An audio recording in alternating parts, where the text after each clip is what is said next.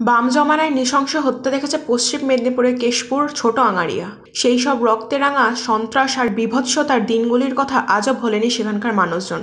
ভোলেননি তৎকালীন বিরোধী নেত্রী তথা বর্তমান মুখ্যমন্ত্রী মমতা বন্দ্যোপাধ্যায়। দু সালে এই চৌঠা জানুয়ারি বাম সন্ত্রাসের বলি হয়েছিলেন তৃণমূল কর্মীরা।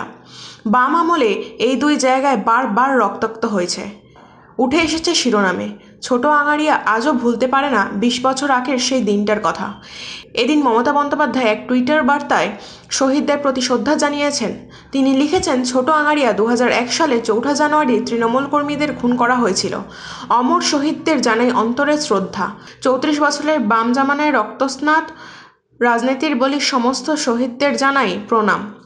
সেদিন অভিযোগ ছিল ঘরছাড়া তৃণমূল কর্মীরা ছোট আঙারিয়ার ঘরে ফিরতেই শুরু হয়েছিল সিপিএমের তাণ্ডব। গুলি করে কুপিয়ে খুন করা হয়েছিল পাঁচজনকে, জ্বালিয়ে দেওয়া হয়েছিল ঘরবাড়ি। সেই স্মৃতির কথা মনে পড়লে আজও আতঙ্কে কেঁপে ওঠেন এলাকার স্থানীয় বাসিন্দারা। এক প্রত্যক্ষদর্শীর কথায় গর্বেতায় থাকতাম। দেখা করতে এসেছিলাম। আমি কোনো ক্রমে বেঁচে যাই। যার বাড়িতে ছিল যারা বাড়িতে ছিল তাদের সবাইকে মেরে দিল, বাড়িটা পুড়িয়ে দিল।